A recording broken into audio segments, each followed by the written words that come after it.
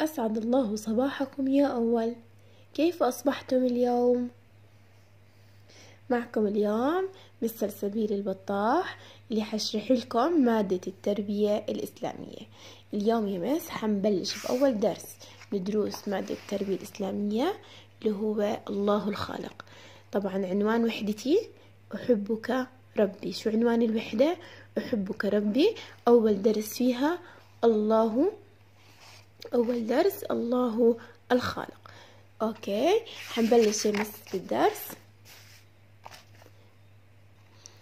درسنا اليوم الله الخالق. أول قبل ما أبلش في الدرس عندي سؤال كتير سهل وبسيط مين البطل اللي بدي حجاوب عليه. مس نوع اللام في كلمة الخالق. ما نوع اللام؟ مين اللي يجاوبني عليها؟ شوف يا مس لما لفظتها الخالق. أسهل عليكم أكتر. السكون الحركة هاي يا مس اللي هي السكون. عائلة بتيجي لام قمرية ممتاز. لام قمرية. طيب يا مس اليوم رح نتعرف على معنى الله الخالق. حنتعرف على معنى الله الخالق. طيب خلينا هون ننظر على هاي الصورة يا مس مين يحكي لي؟ شو شايفين بهاي الصورة؟ إنسان أشجار حيوانات اللي هي الفراشة واليرقة أزهار برضو أرض وسماء أرض وسماء. طيب يا أول كل الأشياء اللي إحنا شفناها بالصورة مين خلقها؟ مين يحكي لي؟ الله تعالى هو اللي خلقها. الله تعالى. معناته بنستنتج أن الله تعالى خلق كل شيء. لازم نعبده ونشكره على نعمه. بنعبده يا أول وبنشكره على نعمه. أول مع بعض خلينا نتفرج على الصور هون. شايفين الصور هاي؟ نتفرج عليها. الصورة الأولى الأولى شو شايفين عندي؟ أرض سماء شمس أزهار. حيوانات فراشة في عندي طيور. ممتاز. الصورة الثانية مس شو شايفين عندي حيوانات؟ ممتاز. كمان أزهار أرض سماء أشجار. كل هاي الأشياء اللي أنا ذكرتها أول مين اللي خلقها؟ الله سبحانه وتعالى. طيب مس البيت هاد مين اللي مين اللي صنعه؟ الله. لا لا لا لا. مين؟ الإنسان. إنه أنا الإنسان صنعت البيت. تمام. الصورة الثالثة. عندي جبال ومياه أشجار وسماء. أحسنتم. أول سؤال. الجبال هاي مغطاة بالثلج الجبال مغطاة بالثلج مين أنزل علينا الثلج أحسنتم. الله تعالى. الصورة الأخيرة يا مس. الصورة الأخيرة أنا شو شايف فيها؟ أرض سماء أشجار. الأشجار إيش عليها؟ ثمار. الثمار يا أول مين بيستفيد منها؟ صحيح الإنسان. أنا بتغدى عليها. ممتاز. هون يا أول مكتوب عندي بالأسئلة. أسمي ما أشاهده في الصور. شو شفنا؟ شمس. أشجار حيوانات جبال مياه أرض سماء. كيف يستفيد الإنسان من المخلوقات الظاهرة في الصورة؟ أنا يا أول كيف بدي أستفيد من هاي المخلوقات؟ حكينا ثمار مثلا ثمار شو بستفيد منها؟ غذاء. المياه يا أول المياه للشرب. مثلا الحيوانات يمس إيش بستفيد منها؟ نيجي على البقرة. يمس الحليب نشرب الحليب برضو بناكل اللحمة تاعيتها الدجاج للبيض برضو فيها لحمة. إذا اللي خلق الإنسان والحيوان والنبات يا أول مين هو؟ الله تعالى. اللي خلق الإنسان والحيوان والنبات هو الله تعالى. أحسنتم. أول نستنتج إنه معنى الخالق. شو نستنتج معنى الخالق؟ هو اسم من أسماء الله الحسنى. اسم من أسماء الله الحسنى. أيضا أن الله تعالى خلق كل شيء من إنسان وحيوان. إنسان وحيوان وجبال وكل شيء. يعني يا أول خلق كائنات حية وكائنات غير حية. في عندي كائنات حية مثال سريع. مين يعطيني مثال يمس على كائنات حية؟ مين مين يلا إيش أول إشي؟ إنسان ممتاز حيوانات كائنات حية نباتات كائنات حية. طيب كائنات غير حية يا أول. سريع مين يلا يجاوب؟ جبال أرض ممتاز يا مس سماء. أحسنتم أحسنتم. لماذا نحب الله تعالى؟ مين يجاوبني؟ ليش إحنا بنحب الله تعالى يا أول؟ مين يحكي لي ليش بنحب الله تعالى يا أول. ممتازين لأن الله تعالى خلقنا وخلق كل شيء على الأرض. خلقنا وخلق كل شيء على الأرض. فهو خلقنا ووهبنا لنعيش على هذه الأرض. عشان هيك لازم نشكر الله سبحانه وتعالى دائما وأبدا على النعم اللي أنعمها علينا. مش دائما لازم نحكي يا ماس شو لازم نحكي دائما الحمد لله رب العالمين. إيش لازم نحكي؟ الحمد لله رب العالمين. ننتقل أول على الصورة الثانية. بالصورة هاي شو شايفين؟ خلق الله الإنسان خلق الله تعالى الإنسان. إذا خلق الله تعالى الإنسان وميزه عن باقي المخلوقات. بإيش ميز يا الله الإنسان عن باقي المخلوقات؟ بالعقل والشكل الحسن بالعقل والشكل الحسن. أي الوجه الحسن يا أول. إذا ميزنا الله بالعقل كي نتفكر بعظمة الله تعالى وسخر المخلوقات للإنسان. ردد معي ردد معي. سبحان الله الخالق سبحان الله الخالق سبحان الله الخالق. ننزل يا أول تحت. لو يمس انت وقفت قدام المراي شو بتشوف؟ بتشوف انعكاس حالك صح؟ طيب لما أنا أشوف انعكاس حالي يمس أول إشي مثلا عند الرأس تاد شوفي بالرأس؟ عينان. العينان يا أول لنرى بهما صحيح الزونة؟ صحيح. الأنف؟ الأنف. لماذا؟ لشم الأشياء مثلا. الفم للتذوق. الأذنين. لنسمع بهما. الشعر يمس لإيش الشعر يمس ليحمينا من برد الشتاء وحر الصيف.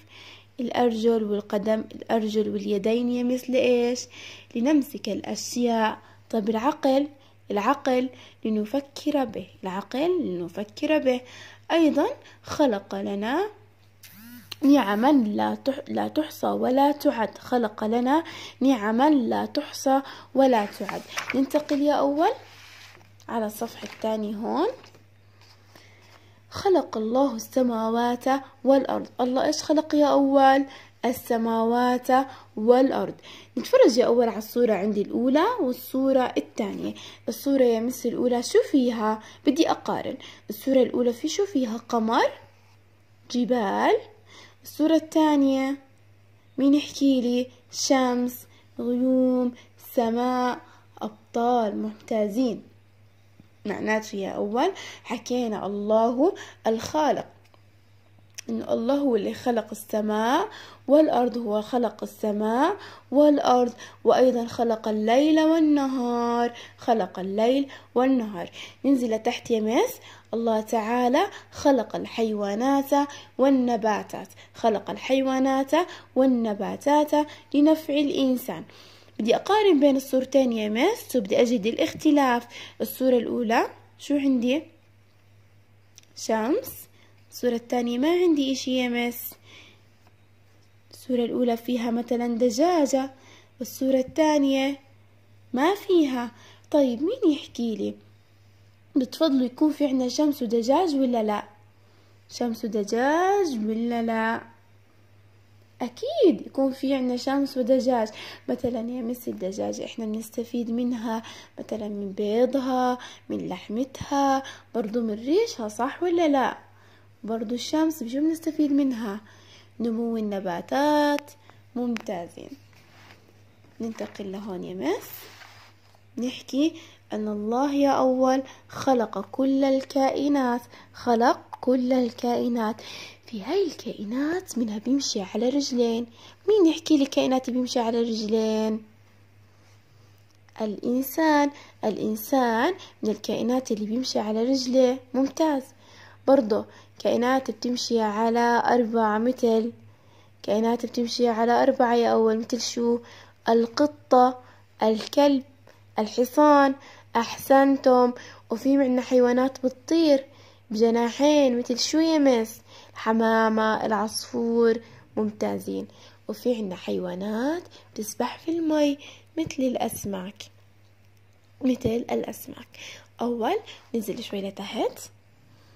نحكي إنه في عندي هون يا مس بدي أوصل بين العمود أسميه ألف والعمود باء في عندي هون صحراء الماء السماء. الصحراء يا أول مين بيعيش بالصحراء؟ سمكة؟ لا لا لا لا لا. ببغاء؟ لا برضه. مين؟ الجمل. الجمل يمس صحيح بيعيش في الصحراء. الماء مين بيعيش بالمي؟ الببغاء لا طبعا. السمكة ممتاز السماء بعيش فيها الببغاء.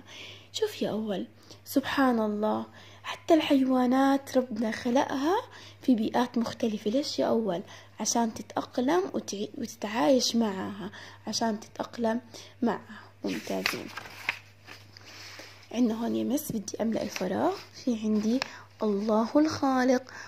الله تعالى خلق الإنسان.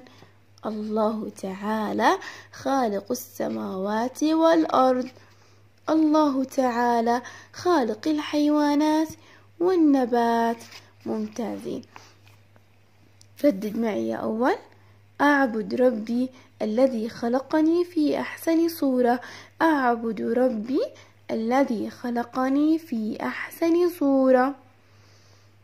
أشكر خالقي على نعمه الكثيرة. أشكر خالقي على نعمه الكثيرة. أول قبل ما ننتقل لأسئلة الدرس بدي أسأل كم سؤال سريع وبدي البطل السريع اللي جاوب.